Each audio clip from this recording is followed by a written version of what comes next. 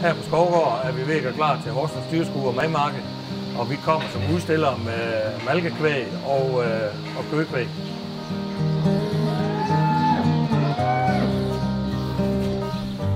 Der er mange forberedelser, inden man skal til dyrskue. For eksempel, hvad skal dyr? Og dyrene skal lære at blive trukket.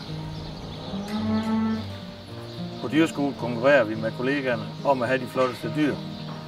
Et dyrskue er også et sted, hvor vi viser dyrene frem, og samtidig får en fantastisk kontakt med byen, hvor vi kan have en dialog omkring fødevareproduktion.